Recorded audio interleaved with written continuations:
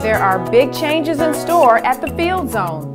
The first change came over the holiday season with the installation of the Boys and Girls Club as the center's new management team. So I contacted Brett Talander, who's the executive director of the Boys and Girls Clubs of South Oakland County. They have a club in Royal Oak and a club in Ferndale. They had received a grant, actually two grants, one to do a club in, interestingly, North Oakland County, so they may have to do a name change, and also wanted to do a um, new club in Southfield. So they opened in November a club in Romeo, Washington Township. Uh, then we started talking. I brought him in here and gave him a tour. He loved it. He said, We got to do this together. I went over to the Royal Oak Club and did a tour there.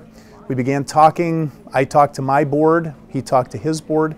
Um, long story short, we worked out a deal, and, and essentially what we're going to be doing is taking some of our programs because he says, um, Scott, you know, the Boys and Girls Clubs have been around for over 100 years. The Royal Oak Club has been open for more than 50 years. And he said, You have programs here that we've never even thought of.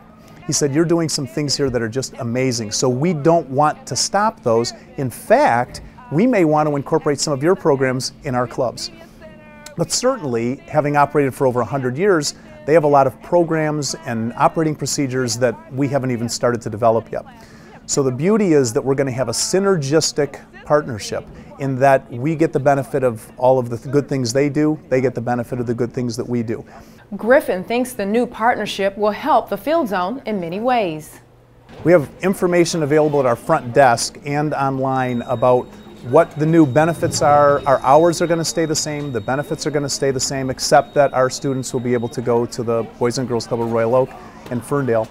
Uh, no, nothing will be diminished.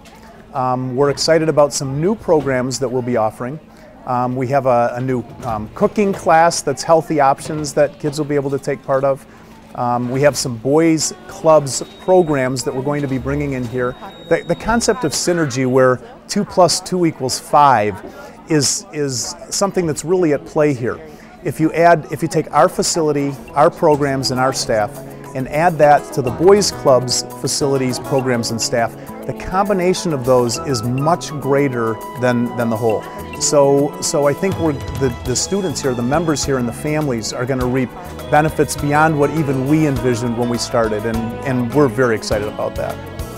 To learn more about the new Field Zone, call 248 395 9663.